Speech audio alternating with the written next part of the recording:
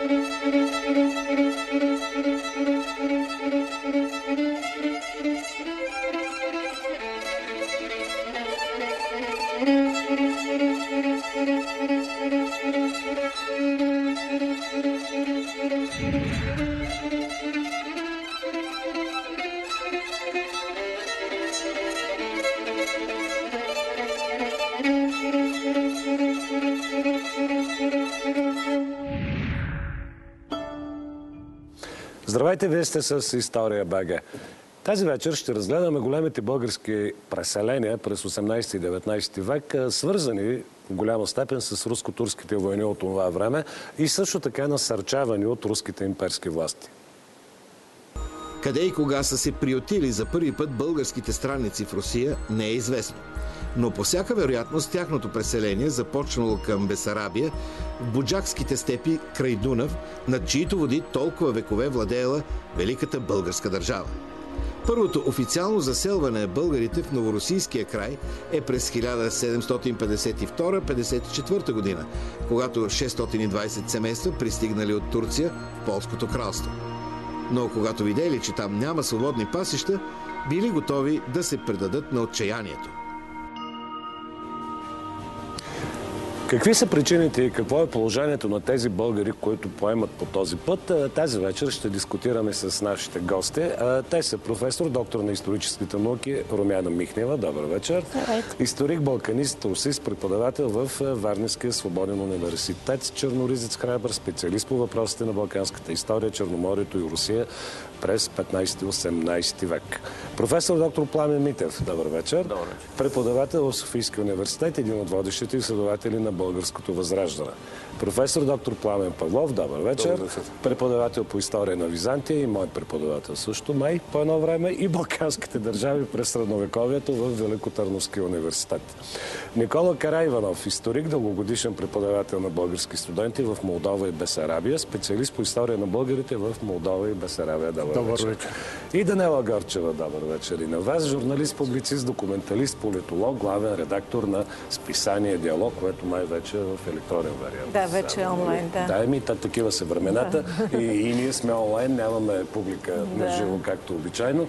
Но за сметка на това, вие бъдете активни, бъдете активни както пред компютрата, така и пред телевизорите. Задавайте вашите въпроси, задавайте ги на кирилица, бъдете кратки, пишете грамотно и следете разговора, за да могат тези ваши уместни въпроси да бъдат изписани ето тук отдолу. Също така знаете, че може да пишете и в Twitter. Виждате всички адреси на История БГ долу. Така, дискусията вече започна в нашата фейсбук страница. Преди малко надникнах. Видях, че както винаги тя е разпалена, доста поляризирана. Но за тези от вас, които са най-активни, има разбира се награди. Книжарница Хеликон любезно ни предостави книгата Голготата на българите в Таврия, анатомия на репресиите 20-те и 40-те години на 20 век от Василий Митков. Професор Павлов ми донесе ето това DVD издание Българите в Северното при Черноморие, което това ще го взема аз, но тези две ще получи някой от вас. Така, нека най-напред а, да започнем с един съвсем кратък буквално обзор от всеки един от вас, като се допълвате взаимно. А, започвам с вас, а, разбира се, професор Михнева. От кога горе-долу е твърдо известно, започват тези преселения на България. Аз казах 18-19 век, но може би и по-рано имаме такива. А, Първо българи започват да се преселват там в мига, в който се променя ситуацията на Балканите, т.е. с началото на османското завладяване. Това Да. е първото, но колегата ще говорим- говори повече. Да. Да. А, през 17 век, сега, въпросът е, че вие искате да кажем големи количества, те не Да, са, но през за 17 големи век, през 17 век, средата на века, а, Русия променя след присъединяването на Украина. Русия променя начина по който се търгува с а, руската държава, Московското царство тогава. И а, започва непрекъснато движение на българи между украинските пазарища или малорусийските, Да. които са на границата и Османската империя.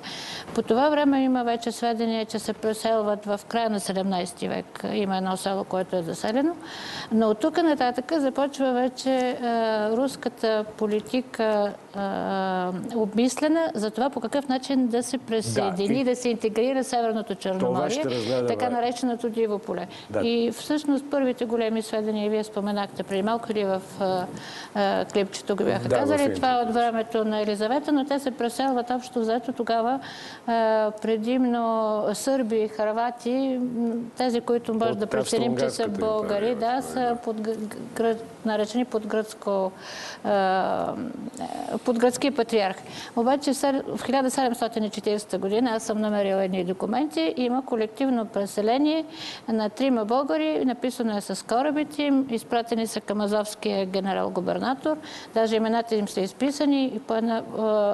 Константин Попавтонов, Поп Антонов, Лачезар Божил и още трети сега го забравих. Ще разгледаме по-нататък и въпрос. Професор Литев, въобще, ако имате нещо да допълните, преди да започнем същинската дискусия. Би, аз бих обърнал внимание върху следното. Преселенията през 18 и 19 век е, в двете дунавски княжества, Влахия и Молдова и в пределите на тогавашната Руска империя, според мен са сред най-драматичните събития в нашата национална история за периода на, на османското владичество. За съжаление, тези събития не са толкова добре познати у нас. Да. Дори бих казал в някои отношения твърде повърхностни са нашите познания за тези събития. Белязани са от разни идеологически предразсъдъци, от много политическо злободневие. И в този именно смисъл твърдя, че историческата ни колегия е в дълг пред паметта на всички тези наши предци, които по различни причини са били принудени да, напуснат да, завинаги своите родни места. Професор Павлов. Нека да припомня, че утре 10 ноември, а тази дата, освен в историята на България, като все пак важна дата, има отношение към наш, нашия интерес към българите в Средното Пречерноморие. Не бива да се смята, че по времето на тъй наречения социализъм е нямало никакъв интерес. Имало е. Има доста така примери в това отношение и в литературата, и в историята, но на практика преориентацията към откриване, преоткриване на нашата безбесарабска българска общност и кримската, и лошанската, и така нататък е след 10 ноември. И този диск, който вие показахте, той е в резултат на конференциите, проведени от Великотърновския университет, в който работя аз и вие сте и наш възпитаник, с което се гордеем така или иначе. Та става дума, че този, е, тази серия от конференции, те бяха по идея на покойния ови професор Петър Тодоров, Мога да спомена непременно името на професор Калчо Калчев, който написа няколко хубави обобщаващи енциклопедични книги за бесарабските българи. И разбира се, с помощта на нашите бесарабски колеги, българи историци, става дума за професор Николай Червенков, професор Иван Грек, професор Николай Русев, професор Сава Новаков, Бог да го прости, и много други. А, така че тук е концентрирано едно огромно знание за тези 30 години след 89-та, като разбира се, те могат да бъдат намерени онлайн в страницата на университета, да. но аз реших все пак и като материален подарък така да ви ги донеса и за вашите зрители. Да, и за нашите зрители да. също. Господин Кревнов. Аз искам да припомня написаното от професор Стефан Дойнов, Царство му небесно, в една статия в исторически преглед. Той казва така. Ако вземем всички жертви на българския народ по време на последните 150 години от османското его, точно не можем, но ги сложим. От друга страна, ако сложим всички али, изселвания на българи числото, то числото на преселените се на север от Дунава е 3-4 пъти по-голямо от онези, които са убити и изклани по време на... Между другото, за какво числа приблизително говорим? Много е сложно. Да, знам, че е много сложно. Да, много е сложно, но а, а, така най-едро казано може. Нали, разбира се, особено за последните преселения също има а, различни данни. Може би нали, по-късно ще стане дума за тях. А, кои са причините? Значи, още Георги Раковски след 5 месеца ще отбележим 200 години от рождението му, той е свидетел на три преселения. И в предвестник на Горски пътник той пише, че турското правителство в продължение на години а, така периодично е прогонвало от вековните селища българското население.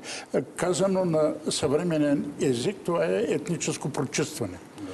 И това е едната причина, едната страна на монетата. Другата страна на монетата е действието на руските имперски власти, особено 19 век, тези преселения, вие ли споменахте, така че когато се разглежда този въпрос, трябва да има а, така, да имаме предвид само да, със сигурност. Не само едното, не само другото. Двете страни на монетата. Да, госпожо Гърчо. Добър вечер на всички. Преселенията, големите преселения са от края на 18 век 1767 до 1791. Това са няколко вълни. След това има една вълна 1806, 1812, 1828-29 и разбира се, те не са от добро, защото ослабената Османска империя предизвиква имперските апетити на Русия, която иска да завладее проливите, при което населението в нашите земи страда ужасно. Първо страда от това, че и руснаците опожаряват, и турците идват и едните, и другите. И тук имаме на Иричек, на Раковски сведения. Има една много хубава статия на Лачар Тошев за изгорялството в Свищов. Тези времена са изгорени от русите Разград, Арбанашко, Велико село, Свищов, Рощук и още много градове и села. Като руснаците, освен това, са отвличали. Раковски пише за това. Той много добре знае, защото е племетиката капитан Мамарчев, който се е сблъскал с Дибич. И Раковски пише за тези насилствени преселвания, плюс едни обещания, тъй като руската политика е на социално инженерство. Те искат да се отърват от татарско и такова население и да го заменят с православно. Да, да, черкези. И имат споразумения с спортата, няколко споразумения с спортата имат, които едно от тези за видинското преселване, което, което, да, което Раковски се противопостави, пише тази брошура, но трябва да кажем, че преселването не са само на там. Когато отиват българите там и когато почват да страдат от руската нагайка и руския къмшик, много от тях се връщат, например, видинското да.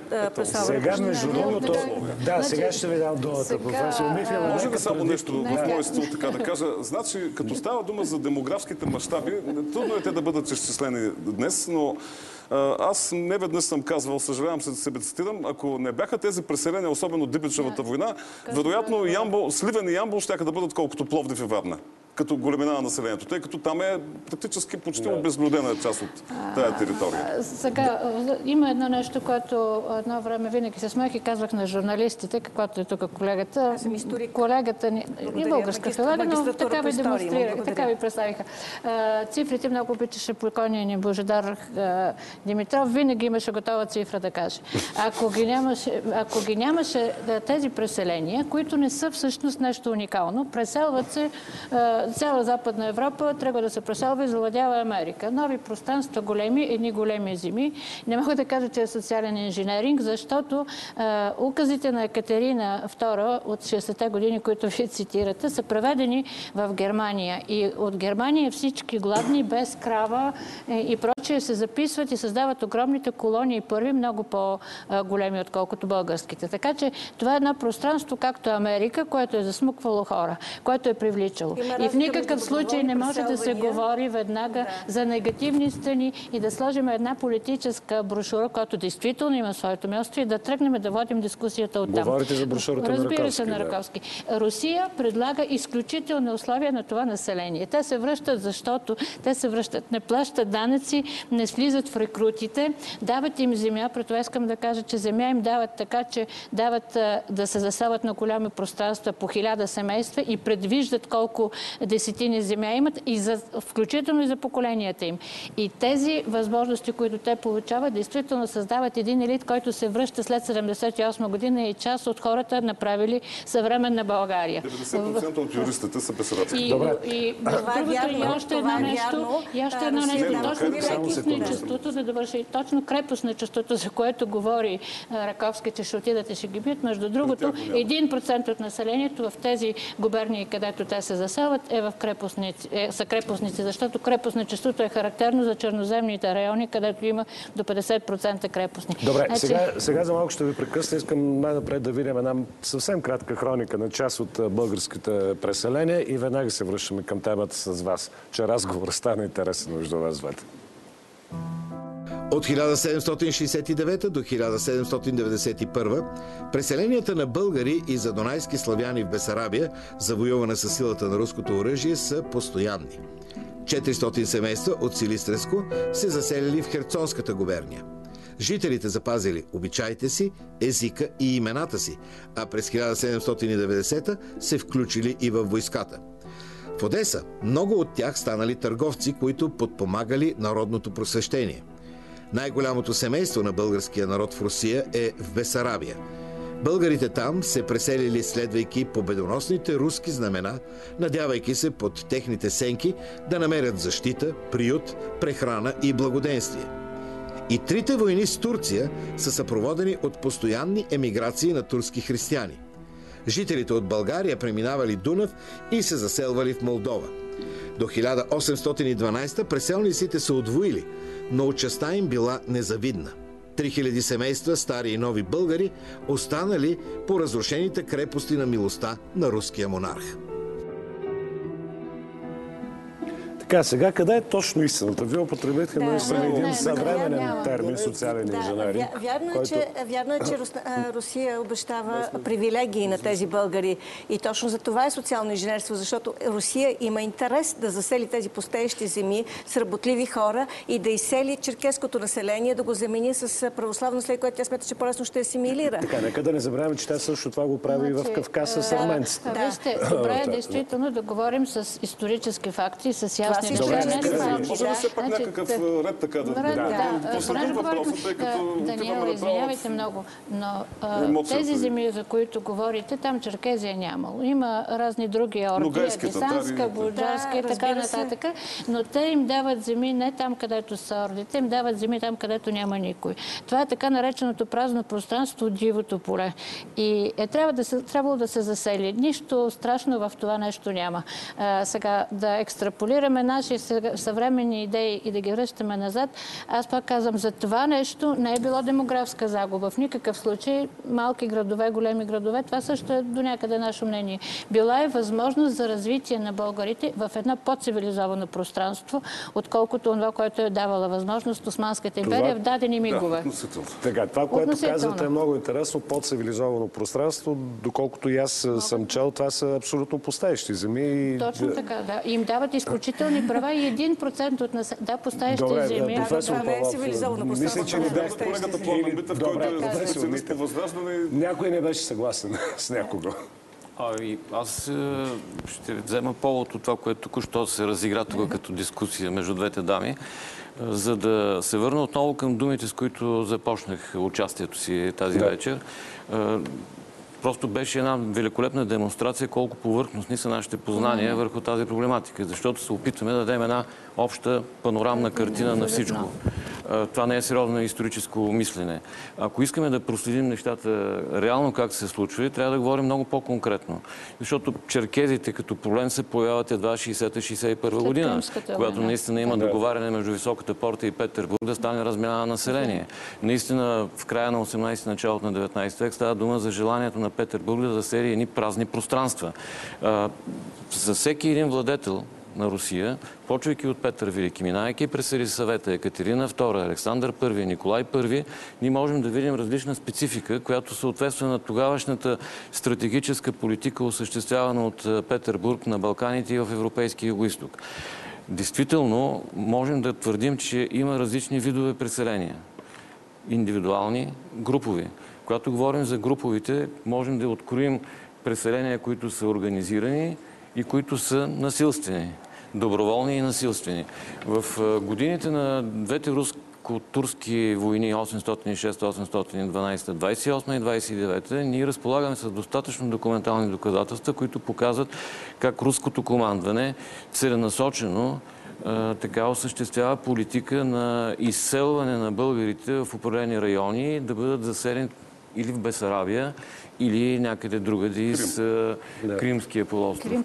И точно Крим това всъщност По-рано, обяснява по-рано. до голяма 61 пак е степен Крим. реакциите на 806. най-изявените наши възрожденски Демонец. дейци. Да дадем пример с Софроний Врачански и неговата молба от 811 година, която всъщност е предизвикана не за друго, а заради желанието на дядо Софроний да помогне съдбата на тези хиляди и хиляди българи, принудени от действията на Котузов да се изселят на север от Дунав, да, да се върнат към нормалния си живот. Защото те изведнъж цели семейства са насилствено изхвърлени на север от Дунав и трябва по някакъв начин да се адаптират. Нито знаят езика, нито могат нещо да, се, да си намерят земя, която да обработват, защото земята там е или собственост на манастирите, или пък на големите чукои там Да не говорим, че това са едни столени степи, които са превърнати Това е в днешната плодородна почва с земя с невероятен труд. Без. Добре, можем ли да Без говорим... вода, без гори, без нищо.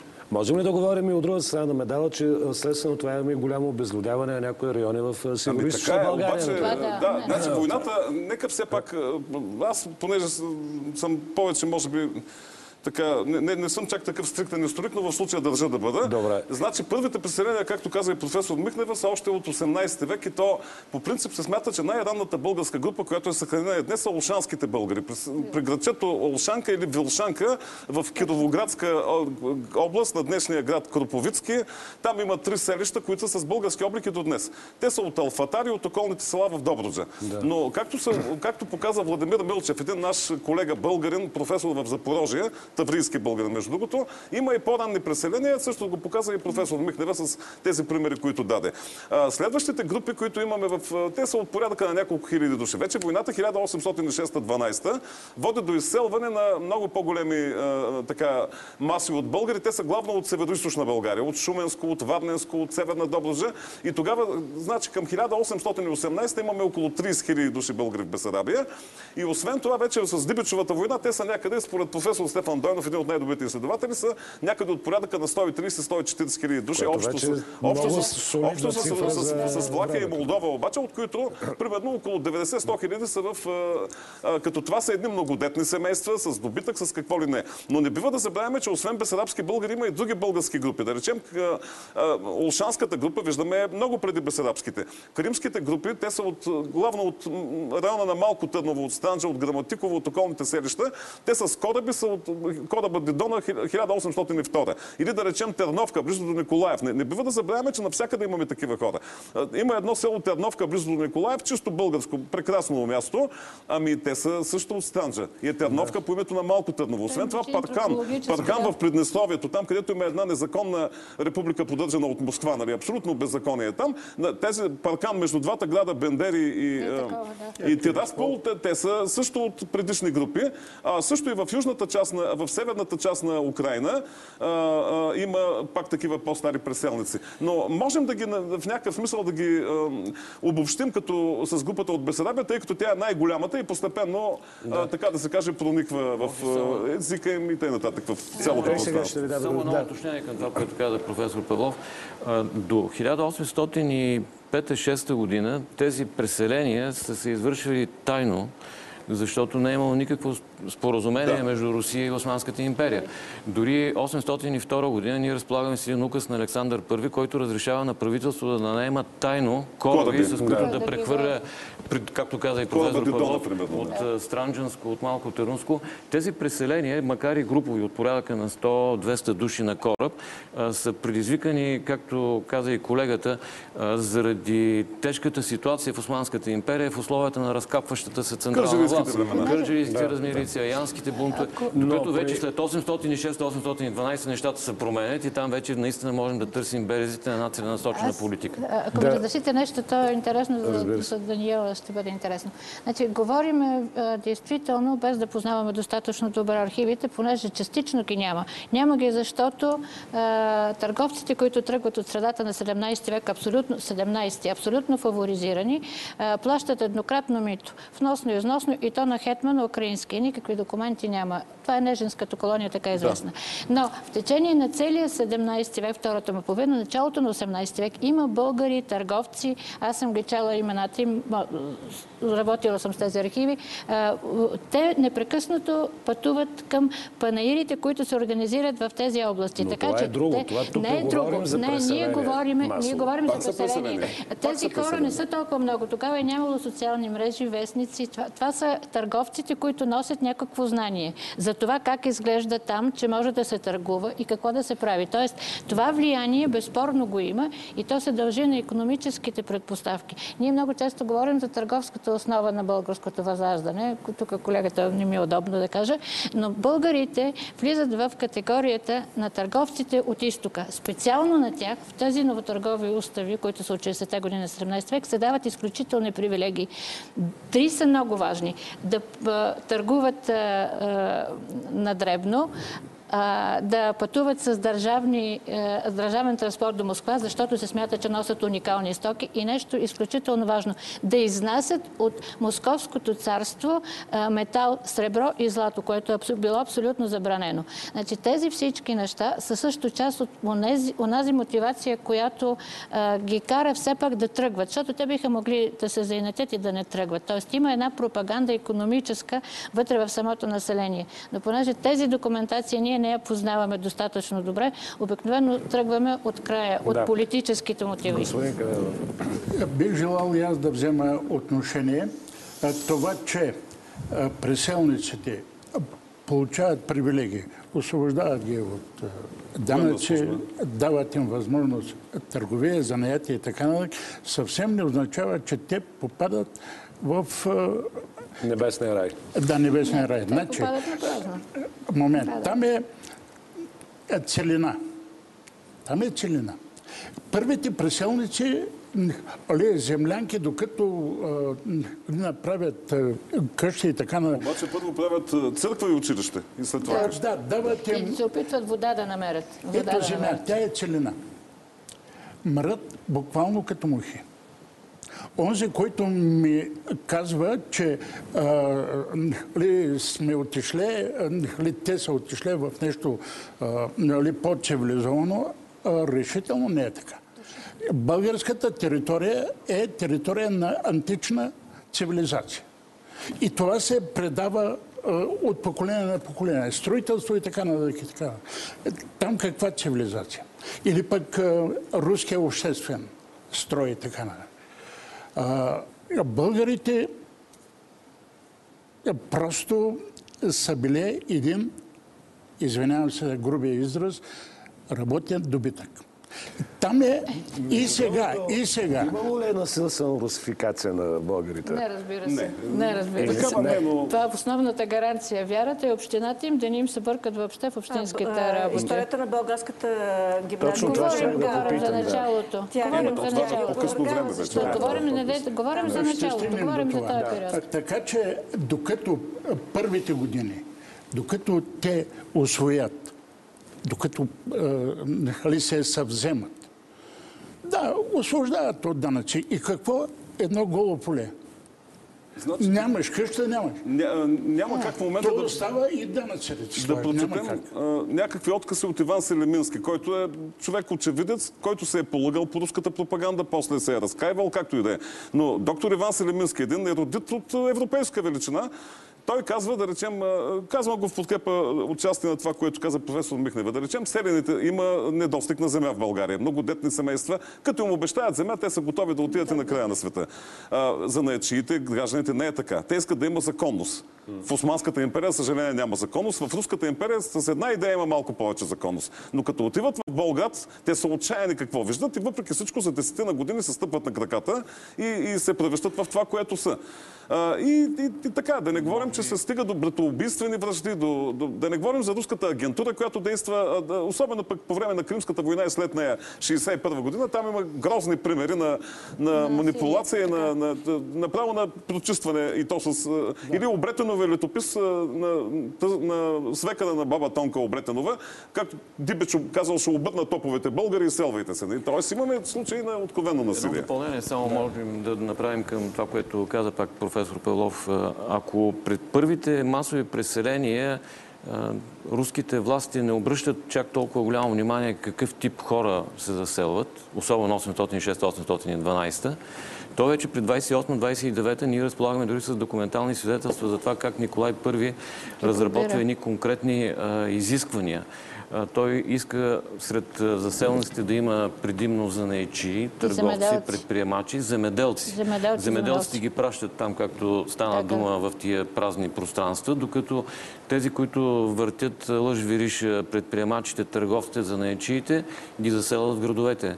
И не случайно, примерно, създават а, Александрия или пък в Болград се сформират такива големи общности от българи, които се Кишинев, опитват... Измаил, Да, да. Одеса. В Одеса, Да. най-големите богати българи къде са? В Одеса, Букурещ, Галац, Брила, Георгиево и така нататък. Защото не бива да забравяме, че има изселване към Влашко и Молдова. И да речем, да, в Руската се. империя те са по-добре ситуирани и там се запазват, докато в Румъния върви много бърза романизация. Това го отбелязват и Ботев, и Каравелов, и хора от Е, това е вече всякакви... след Да. Кръмската война, особено. След Кръмската за война. Болградската Госпожа Гарчева. Да.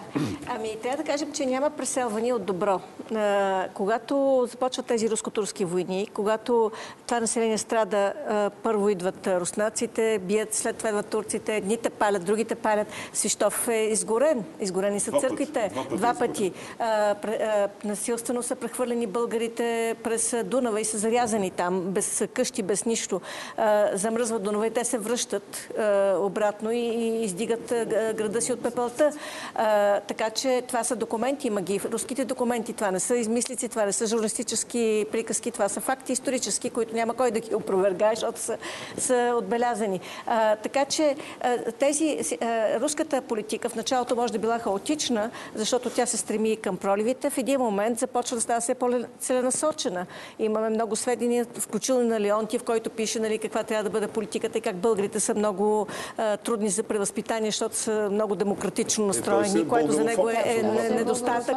А, имаме, да, имаме очудването на руснаците по-късно, че в българската гимназия си говорят на вие, учителите говорят на вие към учениците, че българина си сваля шапката и подава ръка, не се хвърля пред господаря на по очи на пода и така нататък. Всичките тези неща, едно, едно население, което е свикнало на, да живее що годе с достоинство, с, и, и то отива там и наистина прави от тези пустеещи земи, защото е много работливо, то прави рай. Това го правят и в Бесарабия, това го правят и в Крим, това го правят и в Таврия. И, е, и е факт, че след това руснаците започват а, да а, провеждат политика на асимилиране, забраняват гайди, имаме сведения за тези неща, забраняват българска народна музика. Българската гимназия е превърната в осмокласна руска гимназия и нейният директор умира от мъка през 1981 година, защото делото на живота му загива пред очите му. Така че не можем да говорим, че няма социално инженерство и че няма руска имперска политика. Да, между другото, професор Митев, понеже вие на два пъти вече споменахме тази война от 28-29 година, ако не се лъжа, премирният договор тогава е- има официално преселение. А, тоест, дава се възможност официално с разрешение на османската власт Пак да трябва да бъдем конкретни, Да. защото нали, много Да, лесно е да се хвърлят е, големите Големи рамки, все пак трябва да влезем в фактологията.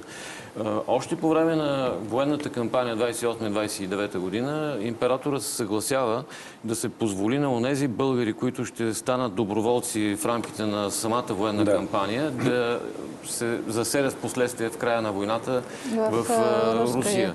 А, И, Доколкото знам, те подписвате декларации. Точно, точно. Че И ще се фактически. Одринския мирен договор е решен въпросът точно на тези Да. българи, които са участвали пряко. Да не забравяме, че в финалната фаза на тази война генерал Дибиш разполага със сравнително малък контингент от руски войници. И прозвището за балкански, да, минава аз си го наричам Дибич. Не. А, затова българските доброволци са много важни за него и те са привличани точно с обещанието, че в края на войната те ще имат възможност да се заселят където поискат при уния привилегии, които вече са ползвани от предишните заселници. Докато след подписването на Одринския мирен договор, само месец след като е подписан мирния договор, на 8 октомври 29 година, Николай I разработва заедно със своите съветници специална тактика за по-нататъчните действия относно прехвърляне на компактни групи българи в Бесарабия и в другите предели на Руската империя. В януари и февруари 30 година вече генерал Дибиш започва да осъществява тази политика и не случайно в хода на тази кампания вече на преселнически действия силом осъществявани. Имаме около, според някои ще около 130-140 хиляди българи, които се прехвърлят само за няколко месеца в Влашко и Молдова. Между другото, тук изниква един друг въпрос. Като казахте 140 хиляди, някъде прочетал, че толкова пък са и арменците, които в Кавказ. Много странно цифрите са еднакви, едни и същи, но нека да го сложим... И целите са еднакви. Да, и целите са еднакви. Други. Тогава човечеството не е 8 милиарда, под 1 милиард. Така е. Ще ми се да го вкараме в контекста, защото говорим за целенасочена политика на Руската империя, да го вкараме в контекста и на останалите етнически групи, като гърци, споменахме арменци, българи и сърби. Може ли да кажа нещо, което не бива да пропускаме? Да. Тъй като все пак говорим за 18 век, не бива да забравяме принципа разделя и владей, който ръководи, разбира се, и Руската империя. И разбира се, участието на българите във военни формации. Има български полк, още 1070 години на, в Елизавет град, в днешния Кръповицки. Да, да, 54-та започва. Има български, има и македонски полк. И македонската историография, ето казва, национе македоника, нали, на, на, на, на всякакви езици. Всъщност там става дума за а, офицери с име Валахович, става дума за коцовласи, а, а румъни от Македония. И въпреки всичко, между двата македонски, българския и македонския полк има най-голямо движение на кадри. И нещо друго, гагаузите. Не бива в никакъв случай да забравяме гагаузите. Тези наши сънародници, които, а, да речем, използват тюркоязиче, един такъв придобит в последствие е, език по-скоро като келнерски английски, ако фриволно се изразя. Става дума за гагаузите. Руската империя отначало ги признава за българи. В ранните статистики няма никакво деление българи-гагаузи. В един момент обаче много по-лесно да се разделят общностите. И сега да речем, там тече още един такъв асимилационен процес, подобен на македонския, на промиване на мозъци. Нашите събрати гагаузи, които имат български имена, български народни песни, български бит във всяко едно отношение. И това България е много виновна в този случай, включително и съвременна България. Имаме една част от българския народ, само в Молдова те са 160 хиляди души. В момента казваме, че в, имаме в Молдова примерно 65 хиляди българи с Приднестровието и Кишинев някъде към 80-90 хиляди, а 160 хиляди гагузи, на кого ги оставяме? 160, това са хора, които са българи. По нашия... А те какви се водят в момента? Ами водят се отделна нация. И там Турция, и Турция с съгласието, разбира се, и на, на Русия, много често и на други държави. Същото, същата тази българска общност има и в Украина, от порядъка на 30-40 хиляди души. Така че не бива в никакъв случай, като говорим за промиването на мозъците в Македония, да не забравяме, че нещо подобно се извършва и там. Добре, сега, като, казахте, като казахте промиване на мозъците, в защита на тезата на Данела Горчева ще се яви не кой да е Захари Стоянов, който ще чуете какво казва в предговора си към брошурата на Раковски преселението в Русия или руската убийствена политика за българите. Само, че винаги трябва да... Тъжни времена прекарват днес нашето отечество България. Всеки честен човек, който може да мисли и да разсъждава, що годе, ще се съгласи с нас, че най-големият ни неприятел днес е официална Русия. Няма пакост, която да не е пуснала в ход тая държава от 6 септември, денят, в който започнахме нашето истинско политическо и самостоятелно съществуване – руското правителство желая да протака работите и да ни държи в военно положение, тъй като се появи някое негодование помежду ни да каже ето, че без мен българите не могат да се оправят. Чуждото ние не щеме. Но желали бихме и чуждите да си подръпват покровителствената ръчица, защото тя може да бъде опарена. Но хората, които са унищожили Полша, Малорусия и Бесарабия, не искат да слушат. Турили си веднъж намерението България да стане за Донайска губерния, нищо свято не ги спира. Но ще кажат мнозина, Русия ни освободи. Това е вярно. Това е велико събитие и ние сме благодарни на покойния Александър II. Благодарни и признателни на целия руски народ. Но трябва ли да сме благодарни и за това, че ни освободи, за да ни зароби отново? Как го сложа Горчева, това е като ще ме напълно подкрепя да. вашата теза. Не само това, и спомените на българите, които да. се връщат от Бесарабия, от Таври и така нататък. Разказ, трогателния разказ, даже аз мога да го прочета за забраната на гайдата.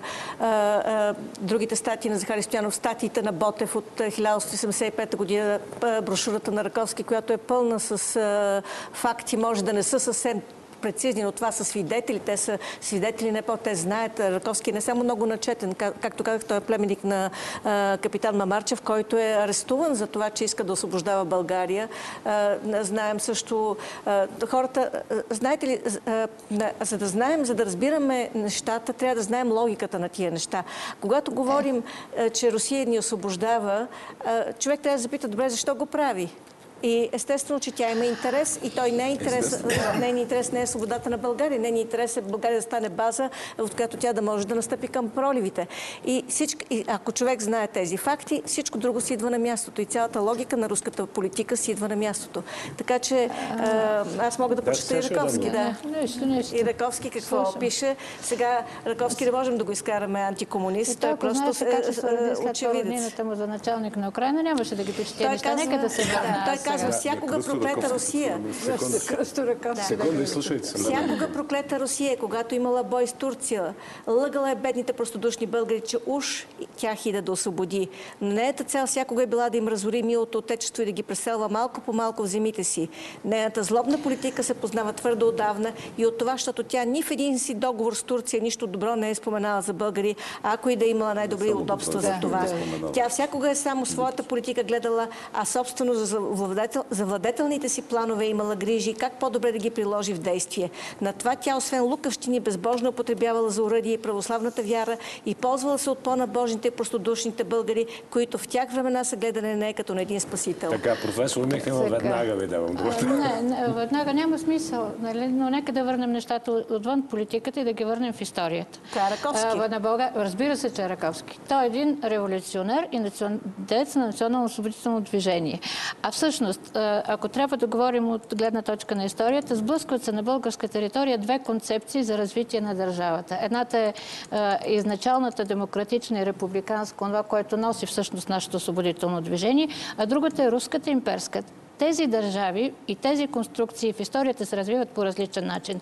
Искам да дам и аз, не съм си приготвила бележки за да ги чета, да ви кажа какво се случва по време на освободителната война. Руски генерал е на посещение в Копривщица. Издадахме ги, между другото, те са известни спомени и разговаря с един български младеж, който е възпитаник на Робърт Колеш. пита го какво ви учат там, не искат ли да ви направят протестанти. Той казва, не, не, в никакъв случай, много са толерантни към нас, а на какво ви учат на политическа економика и парламентаризъм. Нещо, което за Руската империя е било абсолютно непознато. А България се развива по този начин. България прави, точно от гледна точка на социалния инженеринг, прави и приема една конституция, която между другото е изработена в Петербург, за да се види по какъв начин може да се направи една реформа. Тоест, ако трябва да говорим с отделни цитати, той в руските извори може да намери много цитати, които са коренно различни на това, което говорите, но в историята по различен начин се развиват едни пространства. Ние се развиваме към, глед... към революцията няма да цитирам Левски, докато руснаците в този момент, Руската империя се развива както класическа империя в цял свят. Включително и това, което каза преди малко колегата ни Павлов. Руснаците започват още от 77-8 година да отделят гагаузите. Първата дисертация, защитена в Русия, посветена на македонския въпрос, колкото и да ви странно, от 1899 година в тогавашния Юриев, Дерб или Тарто. Те работят по този начин. Всеки малък народ да получи неговите си права. Делят от татарите башкири. Разликата, питала съм ги, каква ви е разликата? Две-три думи. Тоест, това е това е една политика, защото тези малки части една империя ги интегрира. Да. Докато българи не тръгва да, да прави негова национална държава. И за това е тези вопли на Захари Стоянов са кога, тогава, когато ние без да ги попитаме, се обединяваме. Защото империята не го е предвиждала. Аз не бих нарекал тези думи на Захари Стоянов вопли. Не, не. Той каза, защото шести. Да. Един апел към БНТ и към ръководството на националната телевизия. Преди години 2001-2002 година режисера Константин Чакълов направи цяла серия филми за безарабските, кримските българи. Дойде есента на 46-та за глада, за големия глад в Украина и Молдова, историческата област Бесарабия. За кримските българи. Значи тези филми БНТ ги притежава. Те предизвикаха много силен интерес и аз мисля, че е много добре да бъдат повторени, тъй като наистина темата трябва да се припомня на нашата... Да не бива да, забравяме също, че... най-малкото програмен директор ни гледа гледа, така че... Който е Е. Кажете, господин Карл. Аз искам да допълня към професор Павлов следното нещо. Напълно съм съгласен, че гагаузите това са българи.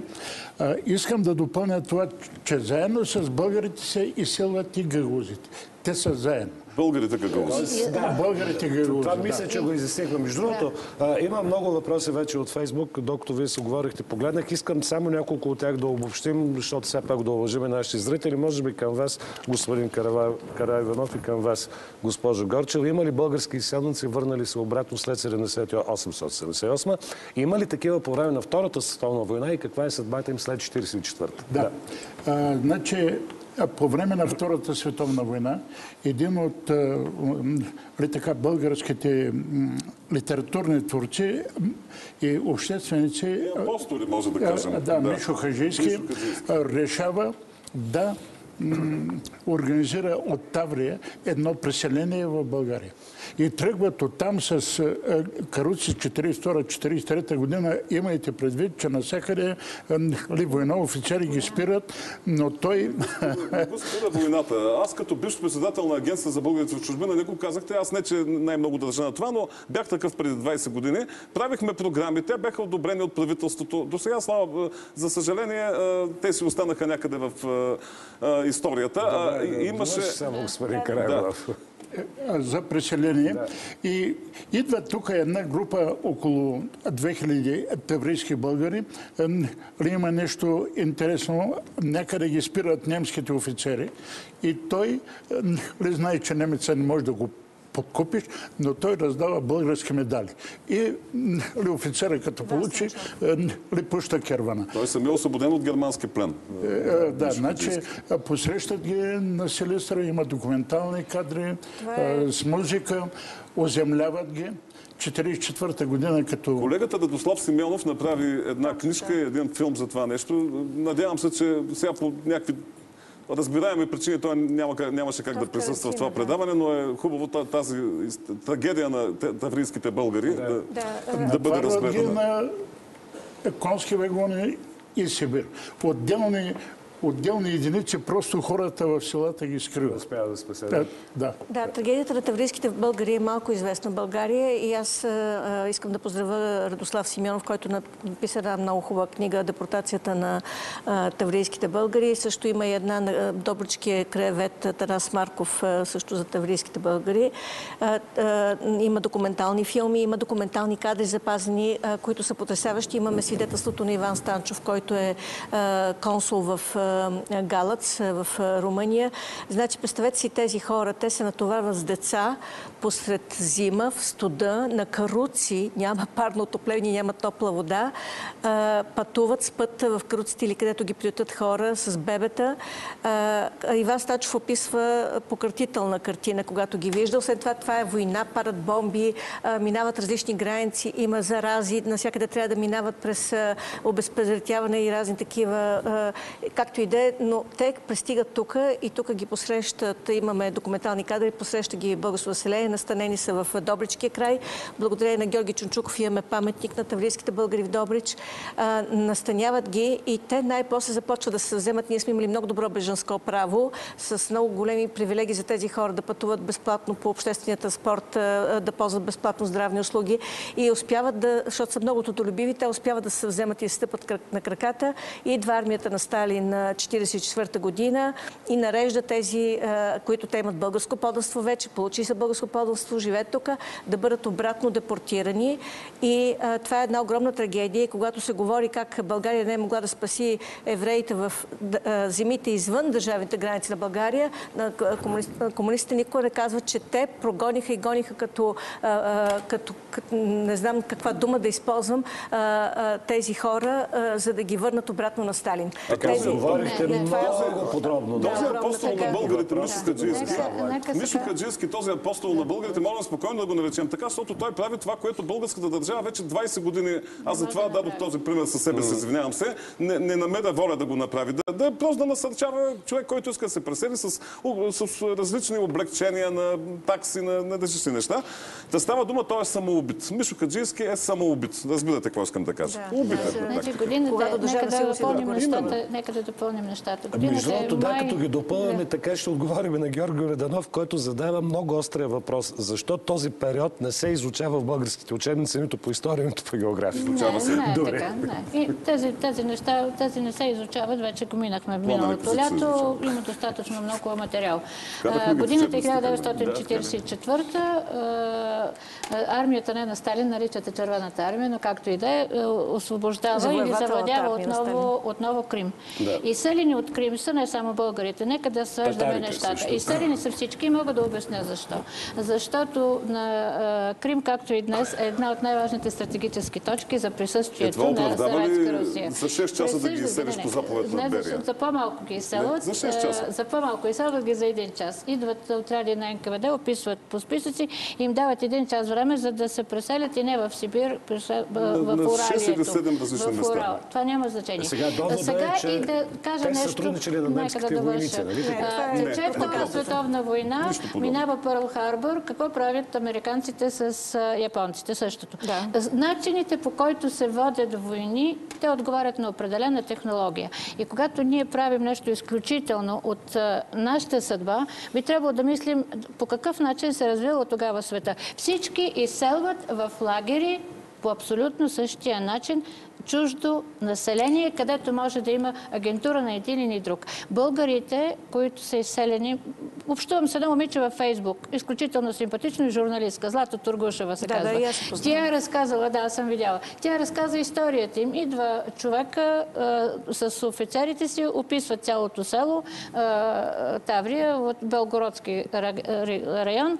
А, идват и една сутрин им съобщават след една седмица, събирате си нещата, всички на Магдана и ги изпращат. И те по същия начин, там където са пратени, пак казва след известно време, те се възстановяват и прочее. Което не значи, че не е трагедия. Между другото, около Варна, някой пита дали са се връщали около Варна, има едни села, които им казват селата на маджурите. Всъщност това са селата на хората, които са отишли веднъж на север и след това са се върнали муджахири, да, така ги наричат във Варна.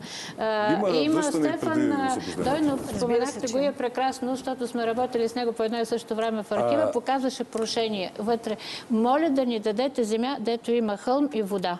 За тях това Да. е било изключително сложност. Вярно е, Сега- че по време на война, само да вмъкна, вярно е, че по време на война, тъй като по време на Втората световна война депортациите не са били забранени от тогава действащите хакски конвенции и всички депортират. Американците депортират така наречено враждебно население от японски Японците, происход, защото да. воюват с Япония. Британците депортират в лагери, включително евреи, британски граждани от германски происход, защото да. са в...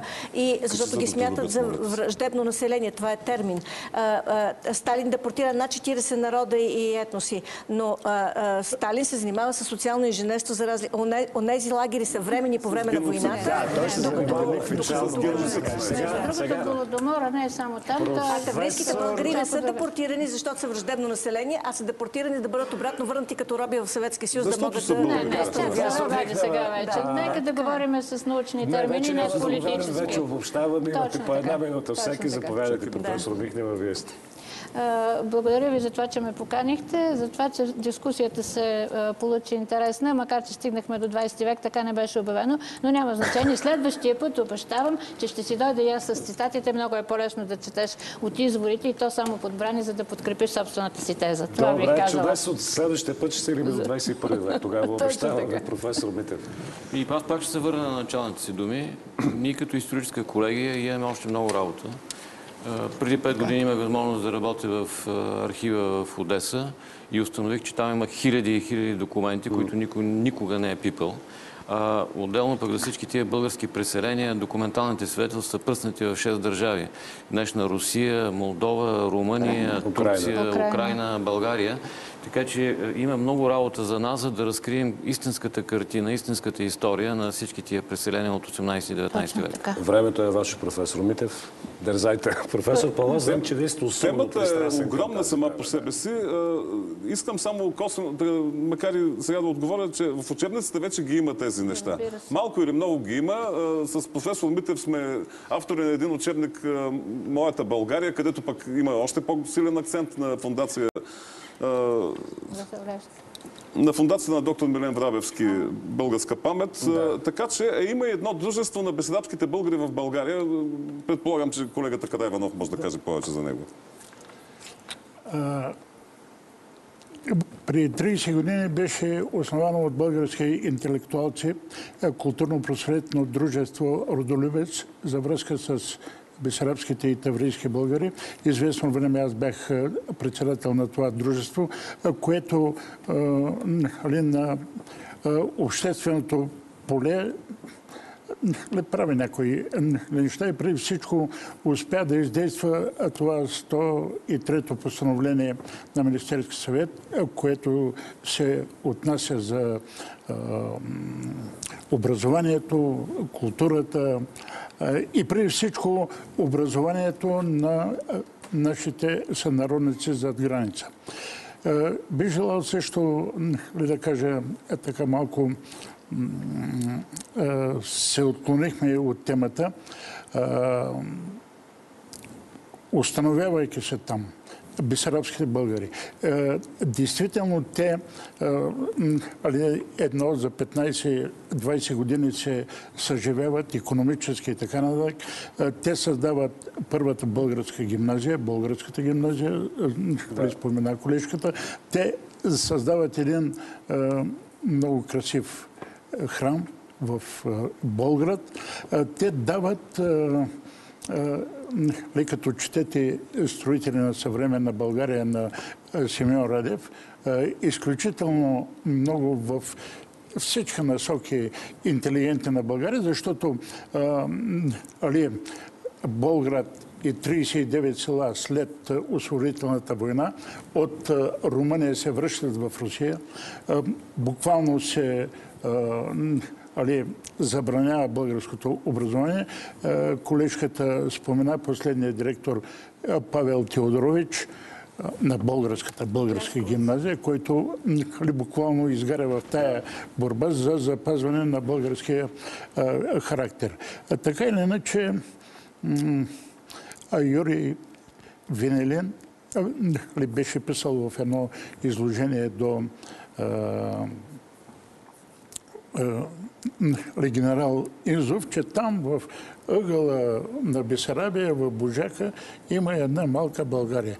Аз мисля, че Да, въпреки достатъчно. всички Да нали, превратности на времето, нали, въпреки, че нашите сънародници са изкарали 8 различни режима, са, са смирили. И 30 всеки режим да си иска... Гледам на това предаване като на едно първо предаване и надявам се БНТ да направи отделно предаване за бесарабските българи, отделно за българската гимназия, отделно за кримските българи, отделно за таврийските българи.